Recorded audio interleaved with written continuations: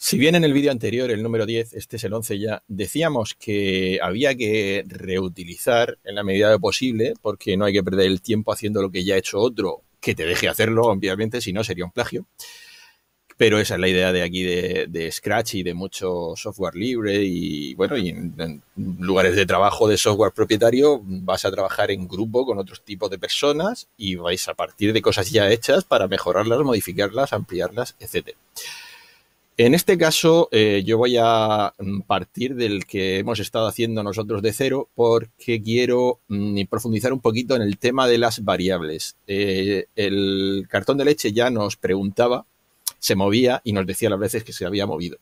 Pero quiero, quiero profundizar más en esto, quiero hacerlo más, más completo porque es muy interesante y muy útil. Así que, eh, bueno, eh, vamos a dejar al recibir mensaje 1, luego se va a poner a hacerlo después de que el gato le, diga las cosas, pero vamos a utilizar varias variables. Con lo cual, eh, primero, pues vamos a crear una variable y le vamos a llamar valor 1. Ahora veremos por qué. Voy a poner el teclado bien porque se me ha puesto mal hay que tener valor. Venga, nombre de la variable. Pues le ponemos valor, no, bañor, no, valor. Valor 1. Y le damos a aceptar. Y ya hemos creado una variable que es valor 1. Pues esta variable ya está creada. ¿Vale? Ahí arriba está, ¿la veis?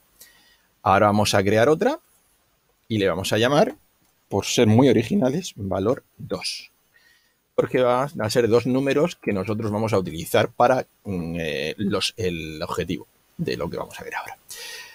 Mm, con estas variables nosotros vamos a hacer un resultado. Luego a nadie le extrañará saber que la variable ahora se va a llamar resultado, la tercera variable que creamos. Y eh, una última, porque vamos a hacer una especie de concurso y entonces vamos a crear una que se va a llamar aciertos. ¿Vale? Que hemos dicho que es un concurso, bueno, un juego, un juego. Y ahí están las cuatro variables. Eh, vamos a darle valores, a darle valores a estas variables, con lo cual nos vamos a la opción que va a ser eh, fijar los variables. Fijarlas, antiguamente se llamaba fijar, ahora le han puesto dar a. Entonces, dar a aciertos